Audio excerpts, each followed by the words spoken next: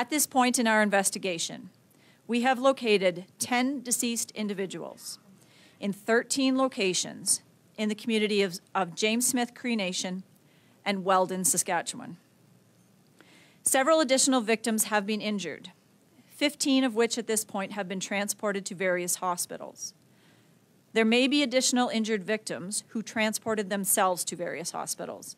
Let me be clear we are still looking for the two suspects. We are asking residents across Saskatchewan and our neighboring provinces to be vigilant.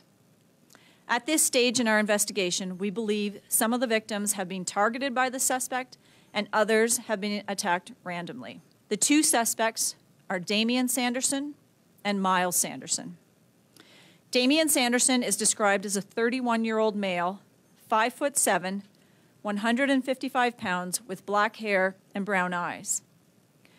Myles Sanderson is a 30 year old male, 6 foot 1, 240 pounds, with brown hair and brown eyes.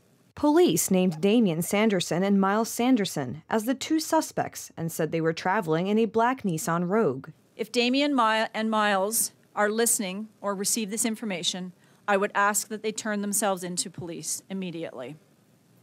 They are considered armed and dangerous.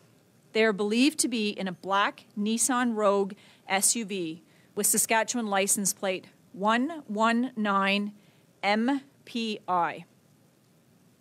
At this point, we don't know if they have changed vehicles since this morning. Their location and direction of travel is unknown. The attacks in Saskatchewan province were among the deadliest in Canada's modern history. A statement by Indigenous leaders indicated they may have been drug related. The nation's elected elders declared a state of emergency. Police bulletins urged people to report any suspicious persons and to take precautions, including sheltering in place, while warning against picking up hitchhikers or approaching suspicious people.